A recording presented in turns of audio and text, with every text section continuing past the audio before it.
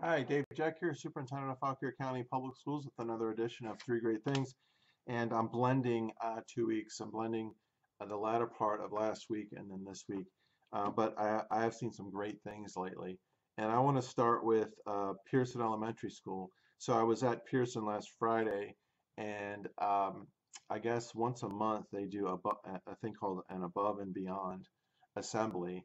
And I was um, thoroughly, thoroughly impressed by several things. One, the principal, the new principal there, Mark Marcinetti, was uh, just amazing. Uh, he's a former military uh, military guy, and boy, he had those kids uh, just.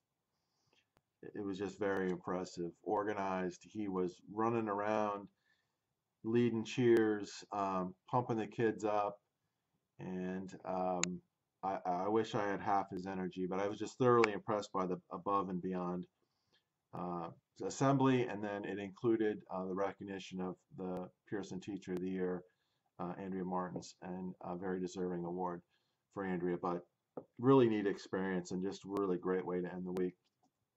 Uh, earlier this week, um, I also was able to attend the Leadership Fauquier uh, program at Fauquier High School. Now, this isn't a student program. This is a, a community program whereby um, there's a cohort of future or current leaders uh, within Fauquier County who meet and and are, they're essentially learning more about the the uh, not only the school community but um, you know government, local government, um, a little bit of everything, including like uh, I presented along with Chris Coutts from Lord Fairfax Community College, and um, it was really good. It was really really interesting. We we were able to address some really unconventional questions, and I thought that was interesting. It made me realize that this this is a really deep thinking group of folks uh, because they asked they asked some really interesting questions.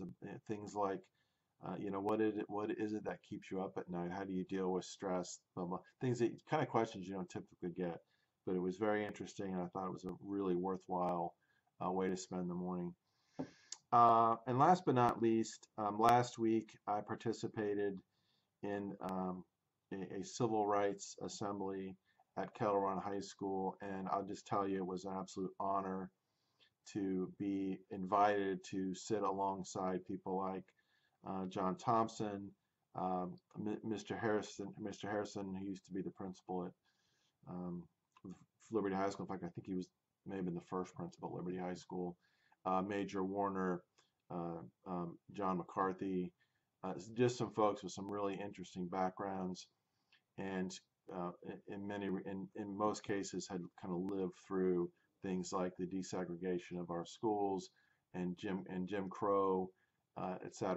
And uh, I, I guess I was I was humbled to be invited to participate in this, and I guess kids were kind of wondering what I was doing there. Um, but it had to, it has, I think I'm invited because it really has to do with my background, uh, growing up and, and my story, my journey as a special needs student, et cetera, et cetera. But I, I was really humbled to be there along with those folks who were sharing their stories and fielding questions from students. Um, it was very well done. David Kuzma organized it and did an outstanding job. He's a teacher at Kettle Run High School but it, it was truly exceptionally done. So thanks for that, and um, hope everyone has a great weekend coming up.